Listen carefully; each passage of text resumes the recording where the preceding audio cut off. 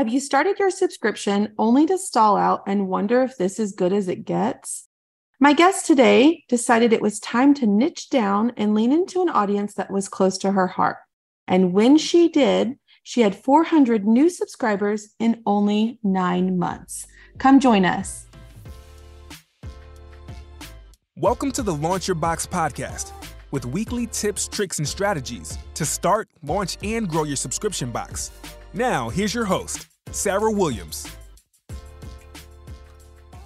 Welcome back to the Launch Your Box podcast. I'm excited today, and I'm even more excited because the stats are even better than I thought they were when we were talking about this podcast. But I've got Launch Your Box member Julie Harkin here of the Pilot Wives Club, and she launched her subscription just nine months ago, and we're so close to hitting the 400 subscriber mark, and it's amazing. And once you hear her story on how she built her audience, she had an audience that was already there that she tapped into that she didn't even know was going to reap the benefits that she's received now. We're going to talk about her story, what happened, how she's had these amazing results.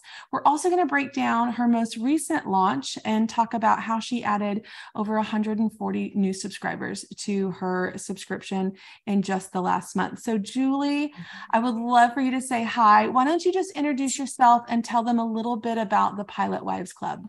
Um, hi, Sarah. this I'm Julie Harkin, and I'm the owner of the Pilot Wives Club. And it's a bi-monthly subscription box just for wives of pilots. And in it, we have kind of a variety of just like accessories and just fun things.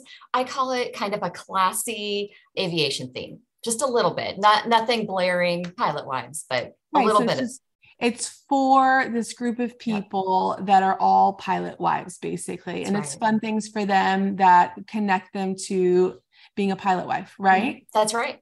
Okay, so we're going to go way back here because we have to understand where this all started for us to be able to know where we're going here. So I know Julie because she joined Launch Your Box quite a while ago, yeah. but it was for something completely different. So I want to start our story there. Okay. Um, why don't you tell them about your first subscription? Let's talk about the journey of that 1st mm-hmm. subscription, and then we're going to go back to the Pilot Wives Club. Okay, sure. So, so yeah, so I joined Launch Your Box, I think two years ago, maybe, and it was for this home decor kind of side hustle that I have, and and I have that with a friend of mine. So it's a joint business, and we started a tea towel of the month club, and that's been running for two years, and it's been doing fine. Not quite uh, the same level as what I've experienced here recently, but and that's they are the cute. They are the cutest tea towels. they are the cutest things, and I think that you got to a point, was it about 100 subscribers? Was that yeah. where the point where it kind of just plateaued a little bit? Yes. And you were finding it was hard to grow. Mm-hmm. Um, and are you still at that point? Have you grown past that? Like, where are we at with it? Yeah, still at that point, okay. And it's just, you know, kind of, yeah, just kind of level. Yeah. Okay.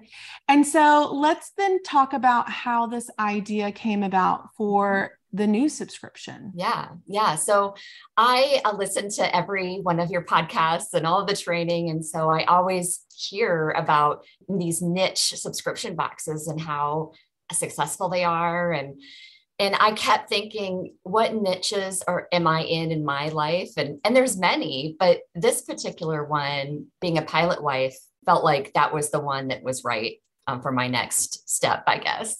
So you've been really consuming the content we talk about mm-hmm. with going the riches are in the niches. And yeah. we say that because when we can niche down to one specific topic or for some one specific person, um, we can actually go deeper with our mes- messaging. We can find those people easier versus when we go broad. Like when we think about tea towels, it's such a broad audience. Like a lot of people use tea towels. They can go, they can be for older women, younger women, uh, moms, grandmas, you know, they, they can be for a lot of people. So you really have a broad audience. Mm-hmm. And in our mind, we think if we have a broad audience, we're going to be able to find find more people.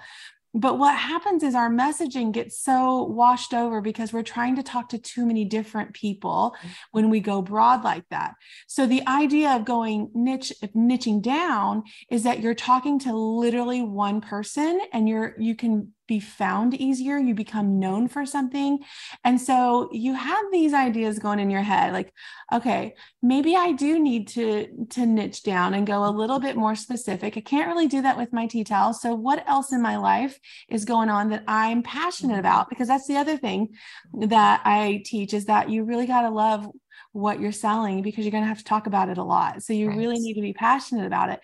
And so for you, it was this Pilot Wives Club. Mm-hmm. And tell me a little bit about this Facebook group that you started yeah, forever ago. Right.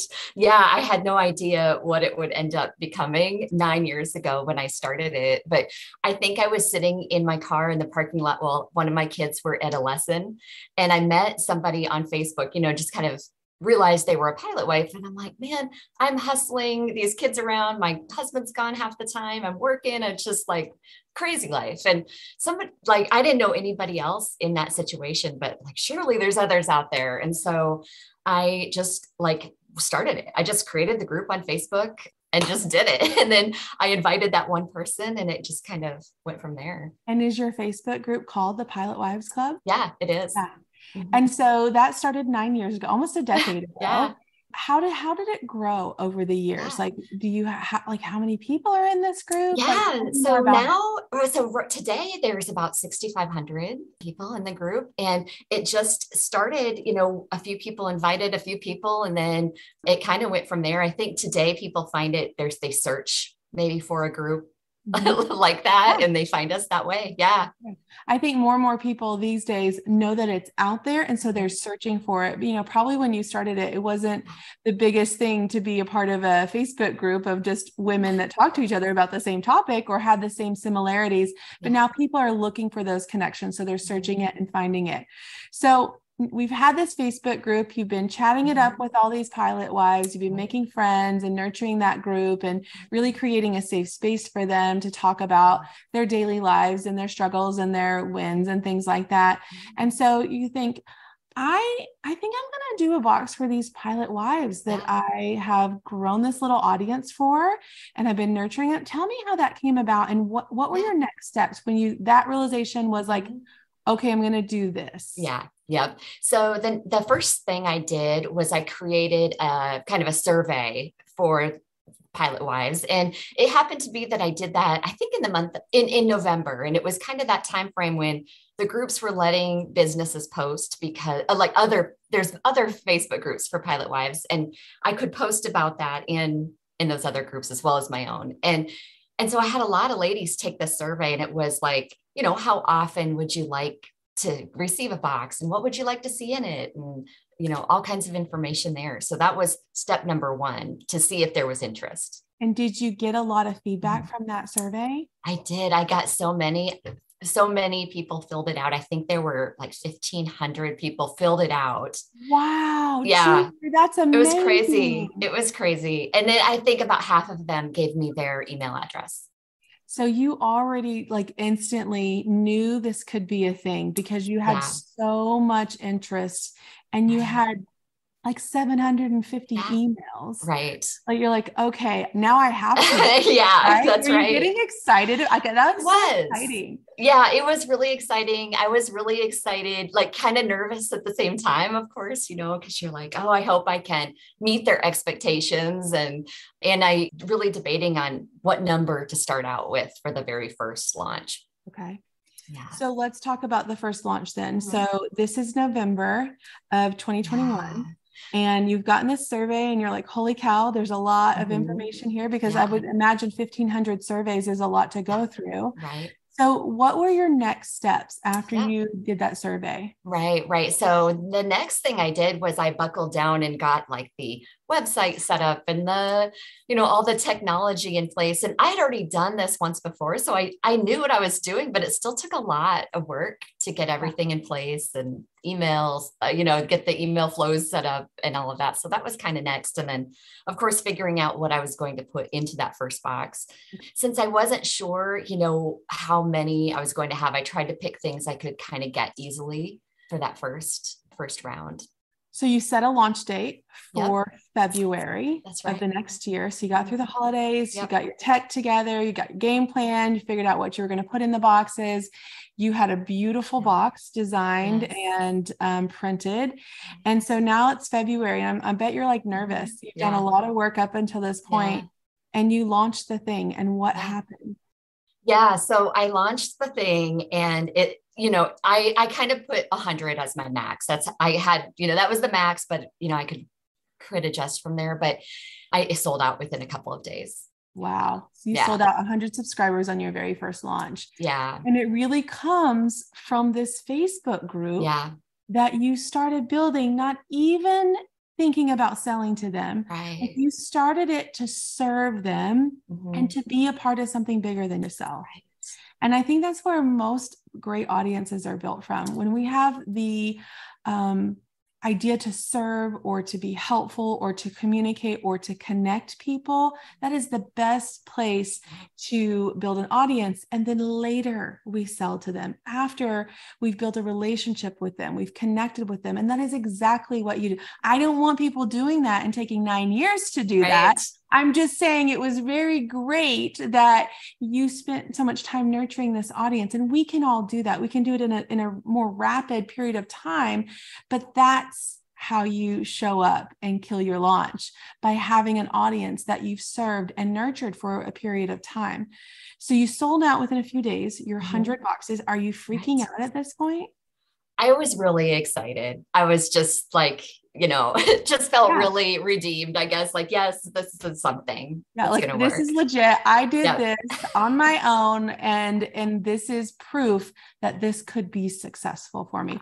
This in one launch is outperforming the towel, the tea towel. Yeah, right? that's right. So for you, it was like validation mm-hmm. that this was the way to go and that you needed to lean into this and grow this, right? right. That's yeah. right. Yes. Yes, okay. Absolutely. So then we get through the launch, we're getting our first boxes out. Mm-hmm. I'm sure the feedback was amazing on the first yes. box.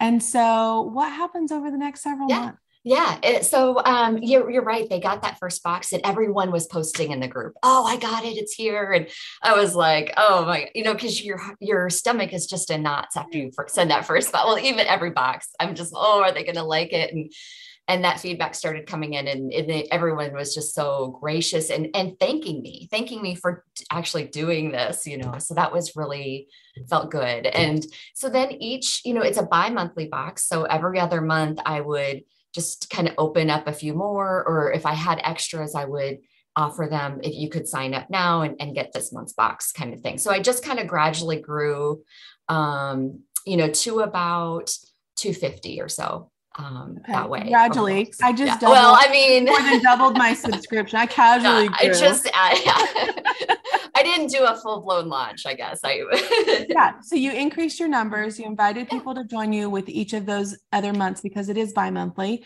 so you were increasing your numbers you were planning for growth mm-hmm. um, and then you te- you said that um, you did your first real launch yeah Okay, so I want to talk about that. And that was in October, right? Mm-hmm. Like just that's right. Yes, that's right. So let's talk about your first real launch because you just opened the doors, you had got people that wanted in, you let them in, you increased, but now we're going to do a first real launch. What does that mm-hmm. mean to you? Yeah. Yeah. So that meant that, you know, I made it through all of my emails that I had scheduled and, and posts and did the lives um, just about every night and, and that type of thing. So I kind of did the full blown, um, you know, according to the way you teach us and just followed your plan on how to do that. So you did a structured launch. And when Julie says that, it's not let she just let the door open and just invited some people to come sign up mm-hmm. if they wanted to. She showed up and did a launch the way we teach inside Launch Your Box. And that's a concentrated period of time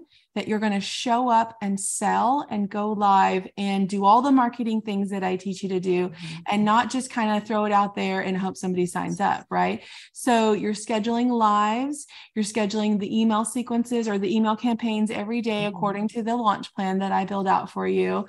Um, you're you're scheduling an open cart, closed mm-hmm. cart. Yep Did you do the early bird bonus? I did. Yes. Okay. I did. She, she did the early bird bonus. So she basically took all the components of the launch plan that I built out for you. And she said, okay, this is my first real launch. Like Yeah. I'm doing the plan. And isn't it amazing to have a plan so that you you know what to do and you can just kind of check the things off and keep Mhm. moving forward and not like swim around in your head about should I be doing something else? What should I be doing today? What should I do tomorrow? Is it have I sent too many emails? Like what am I doing? Right? Yes. Yeah, absolutely. And all of that I was able to schedule ahead of time. And even having done that, it was still a crazy week, just Yeah. answering questions and, and doing the lives. Yeah. that And that's why you want to schedule some of that out because in the actual launch, it's a lot to show up. Like when we show up on live video, even if it's 20 minutes, it takes a lot of energy to be on. You know what I mean? Yes. And so that exudes a lot of your energy. And then there's a lot of email and customer service follow up. And I'm sure you don't have like this huge team of people that just answers all of that behind the scenes. Like I'm, you can't see Julie, but Right. she's sitting in her bedroom uh, or a bedroom in her house and there are boxes stacked behind her so i know that she's doing this outside of her i mean in her home but also she works a full-time job so it's not that she was just sitting around waiting for someone to email her and ask her a question. She's full blown launch mode. People are joining every hour. You're handling the customer service. You're handling the questions, going live, making sure the emails are and the posts are scheduled and out on time it's a lot to do and that's why we do it in a short concentrated time because if we can go all in in that time frame versus dragging it out for weeks and weeks we're able to put all of our energy into that short time frame. We give people a reason to buy right then and then we don't feel like we're selling all the time which is a lot of times not what we want to do. We don't want to sell all the time. We just want to do the we want to make the cute stuff and send the cute boxes right? Like That's right. Yeah. yeah. So you did a full-blown launch. Mhm. you added in an extra 140 subscribers Yeah. in what four or five days? Yes, that's right. Yeah, Yeah. four or five days and it put you almost to the 400 mark Yeah. right Yeah. and how does that feel like in nine months we went from nothing to almost 400 subscribers Yeah. how does that feel it feels fantastic it, and scary. you know, how am I going to do all of this? But it kind of feels almost like, I don't know, next level, or it's what I've, you know, dreamed of and forecast and just, you know, envisioned. And it's so it's really exciting to see that it actually is happening. are you still managing all of it from home too Yes, I am. yeah okay and so what when you when you lay down at night and you dream the entrepreneurial dreams like we all do we all just lay down at Oh night my thinking about what's the next thing or where is this going to go or what do i Yeah. hope for this like what is the hope for the pilot Yeah. wives club for you Yeah. You know I don't know that i have like a a limit like i want to get to so many subscribers. At 500 has always kind of been like okay i'm Yeah. almost uh-huh. there I'm almost there. That's my next kind of you know benchmark but but yeah so i'm i'm pretty happy just kind of growing this. I have other ideas of you know with that quantity i'm i'm sourcing and manufacturing items for it and and maybe like maybe that could be something you know taking that to be a line of products or, or something you know where mm-hmm. i can use that energy and effort I'm putting into finding them in the first place to kind of get a little more bang for my buck on on time with figuring that Yes. out. Yeah. absolutely so when you as you think back on the on the last nine months what do you feel like was the most challenging for you I think for me, it's always time, figuring out how I'm going to have the time to set things up, to answer questions, to hack the boxes, all of that. And so I'm a, a project manager by day. So I'm really used to being organized and creating lists and, and figuring that stuff out. But it required, you know, I, I um, spent a lot of early mornings getting things set up. I'd get up earlier than I normally would so I could get everything going. And so it took some sacrifice and, and hard work, you know, to get there. Obviously like you're you're not just throwing things together at the last minute like you're planning this out you're being mm-hmm. intentional you're setting goals you're setting numbers and you're working towards them and you're not just spaghetti testing stuff like you're really thinking through mm-hmm. what this is and where it can go and i love how intentional you are with this. You know one thing about your story that I love that I think is important for everyone listening is the way that you've leveraged this Facebook group. And, you know, I don't have a Facebook group for my subscribers, but I want to talk about that a little bit. So now originally the group was just to connect and be friends with other pilot wives. And so, how has that changed over this mm-hmm. last year with your Facebook group? Yeah, it's really interesting because I wasn't sure how that would play out because I'd never sold something to them before. And and they have just been so supportive. I mean, I feel like I tell them all the time, like, you are like the wind in my sails. Like, you just keep me wanting to move forward and do better because they've just like shown up for me. They they really have. And and each time they get a box, they are sharing it and posting. And and when I had this last launch, um, one of them came on and did a live with me. Oh. And I had made a post, you know, we're launching and and hey, current members, tell everyone what you like about it. And I mean, it was just full of comments and um, so, so it just you know it's been very gratifying sometimes that group over the last nine years hasn't been the most fun you know to to yeah. manage a free group just because and and so this has kind of made it fun again and i've found that the, like the, the ladies in it like they kind of come together and and are more supportive of each other. And um, if you had to do it all over again would you do it again? Oh yeah. Yeah definitely. And what advice would you give for someone that has been maybe thinking about starting a free group to collect people with the same interest in hopes of starting a subscription box? Like, what advice would you give to someone thinking that way?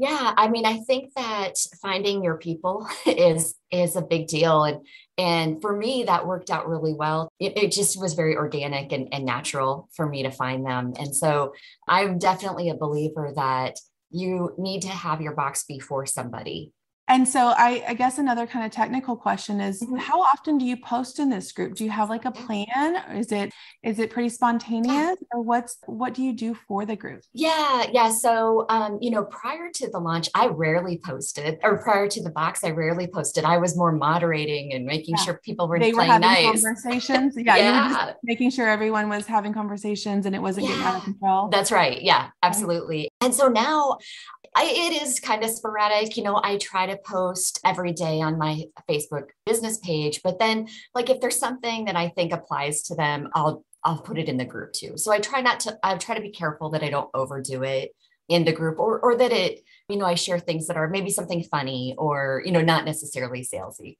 Yeah, you don't want to just show up and sell all the time. You want to right. continue to build and nurture that yeah. group the same way you started it, right? Yes. Turn into just a sales platform. Right.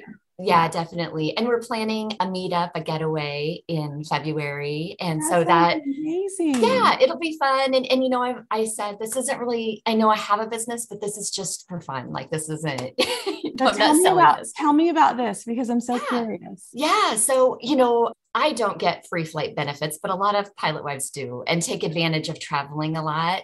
There's different meetups that people have, like there's city groups of pilot wives it's kind of a whole a whole thing you don't know is going on in the world i guess but and so we just i decided let's do a meetup in florida somewhere people can easily fly into and and we're going to do a long weekend there. We're just gonna like stay at the same hotel and yep. hang out. That's gonna be so great. Yeah, I it's gonna be that. a lot of fun.